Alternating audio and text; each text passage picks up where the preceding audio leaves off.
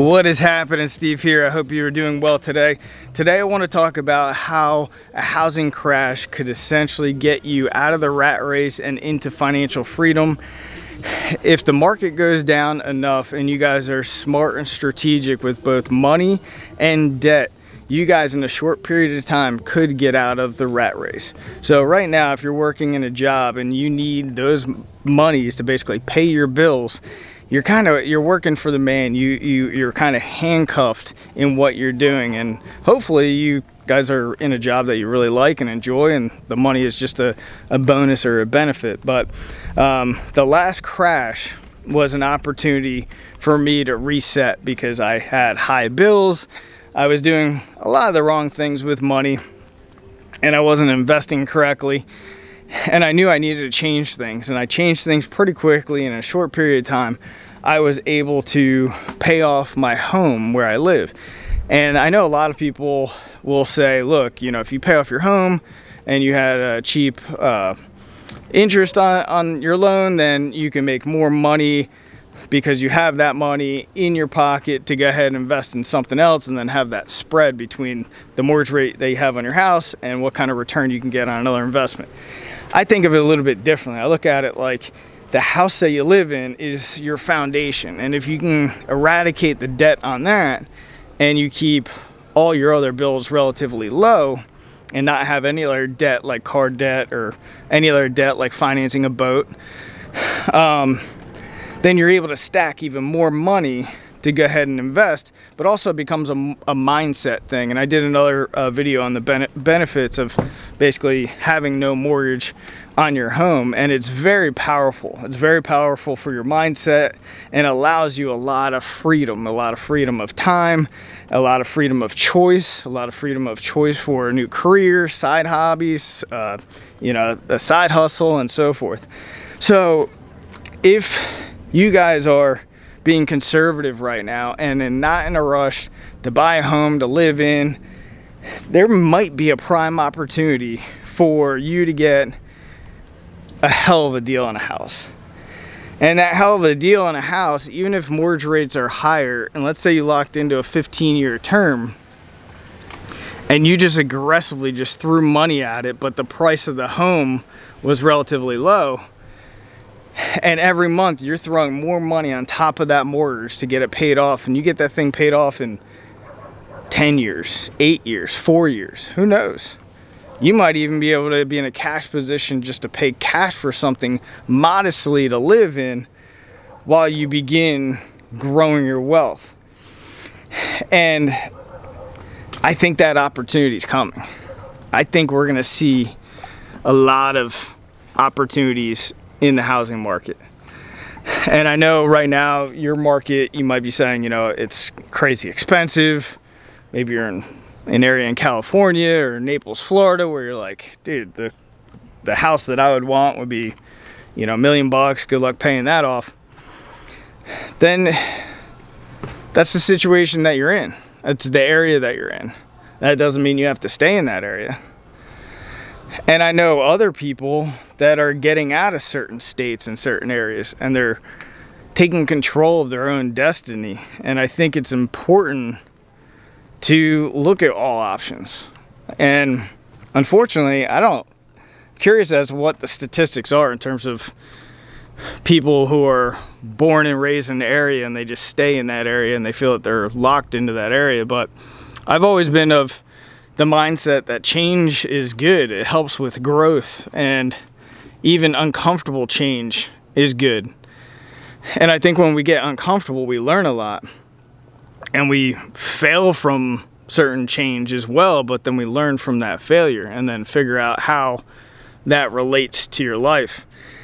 And like I said in other videos on this channel, sorry, I'm sweating like a beast here in Southwest Florida. It's, it's hot, but it's beautiful day. I mean, the water's nice out here, got boats cruising by. It's nice. Anyway, I'm gonna try to sit down this dock right here and I get a splinter in my ass. So,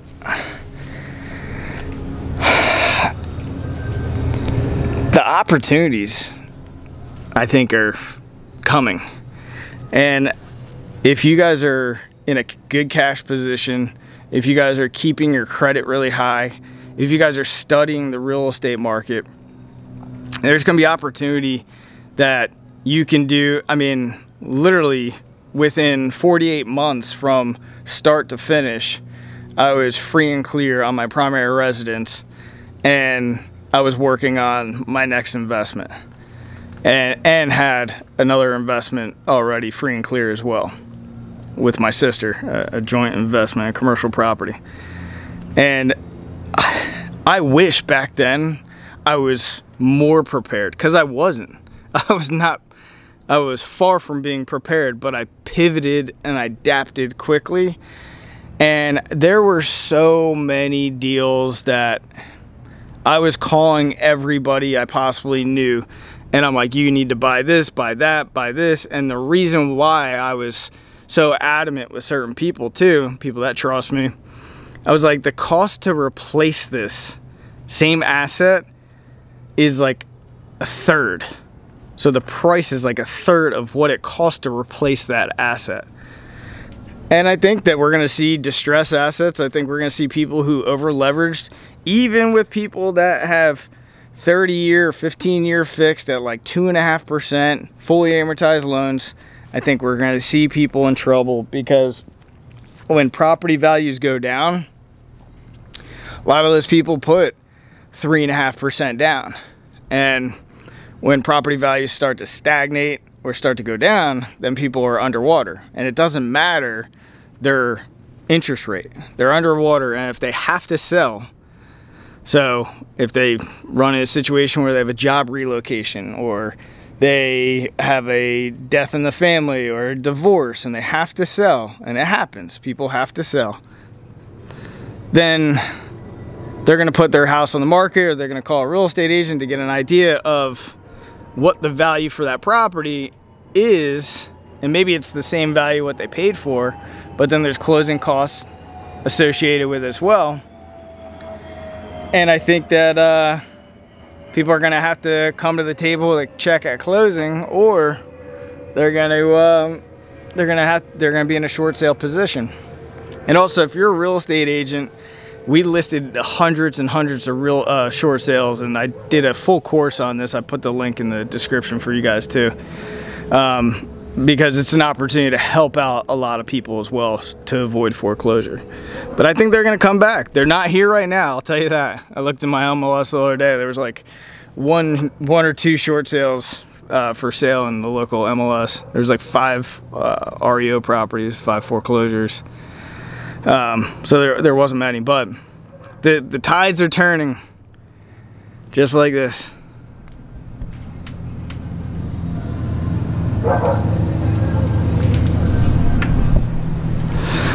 The tides are always shifting and it's important to pivot, adapt, and be ready.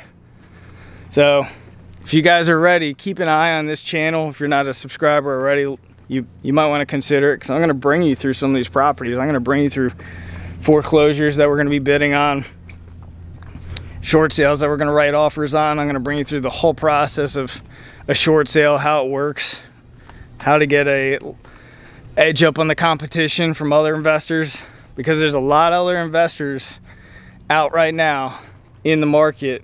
Well, not in the market.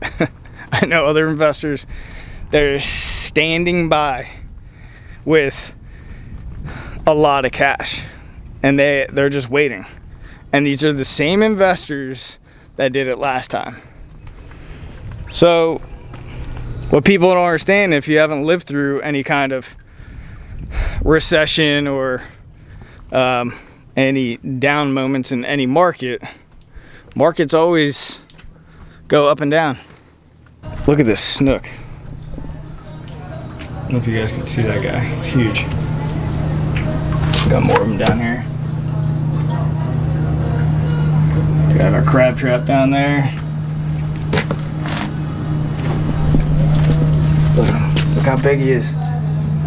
Dude's a monster. It's not snook season right now, so we can't eat these guys. Um,